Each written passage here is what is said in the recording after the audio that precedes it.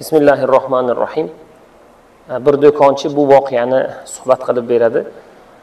Men do'konda u bu narsalar sotaman va meni oldimga bir qariya keldida aytdiki sementga qarshi surtadigan bir maz bormi dedi. Ya'ni e, bu deganiki sementga qotib qolgan qo'lni e, eritish uchun eritish uchun biror bir mazmi biror bir shunga kerak bo'ladigan narsa bormi dedi.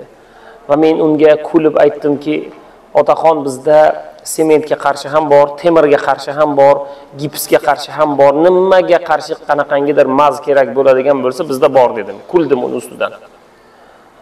Va unga aytdimki o'zimizniki bo'ladimi yoki chet elnikimi? dedi. Va u kishi menga aytdiki mayli chet elniki qimmatroq bo'lsa ham menga o'shandan bering dedim.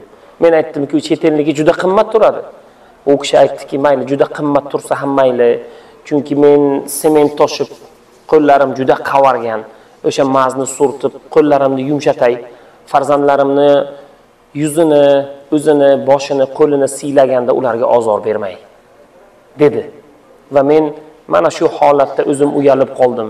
Chunki meni qo'lim qavarmagan bo'lsa ha bo'lsa men bir oddiy do'kondor bir tijoratchi bo'lsamu qachon farzandlarimni erkalaganim oxirgi marta erkalaganim yodimda emasligi va meni juda qattiq uyaltirdi.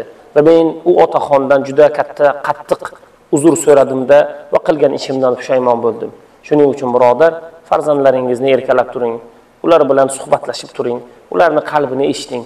Alloh taolo sizga fazl bersin inshaalloh. Assalomu alaykum va rahmatullohi va barakatuh. Bismillahi rohmanir rohim bugun eh, makkai mukarrama safari asnosida qur'oni karimning qalbi bo'lmish yasin surasini o'qib ibn kasir rahmatullohi alayhining e, yasin surasining tafsirini ham e, o'qishlikka bardavom bo'ldik. Bu joyda bir ajib narsa e, bizni e'tiborimizni tortdi. Yosin surasining yetmishinchi oyatida alloh taolo oyat nozil qildi. U oyatning tarjimasi albatta qur'oni karim tiriklar uchundir. Bugungi kunda biz qur'on faqat vafot etganlar marhumlar va inshaalloh marhumlarning nomiga o'qilinadigan bir kitob deb o'ylayotgan bo'lsak bugungi kunda xato qilamiz. Aslida qur'oni karim tiriklar uchundir. Shuning uchun qur'oni karimni har kuni o'qing birodar. Qur'oni karimni vafot etgan otangiz vafot etgan buvingiz yoki vafot etganlaringizni nomidan bir uyga ehson qilganda yoki ora orada qabriston va mozorga borganda emas har doim o'qib yurishlik. Chunki qur'oni karimni alloh taolo biz tiriklar uchun olloh nozil qildi.